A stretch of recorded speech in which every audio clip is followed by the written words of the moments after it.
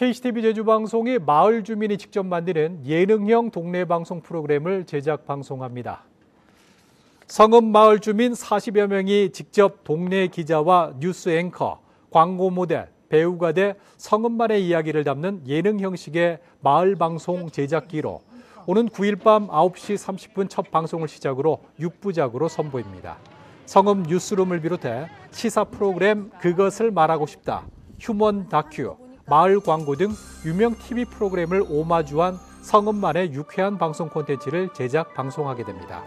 방송인 배동성 씨가 휴면 다큐와 시사, 마을 광고 제작을 또 SBS 출신 윤영미 아나운서가 성읍 뉴스룸 진행을 맡아 재치 넘치는 감초 역할을 담당합니다.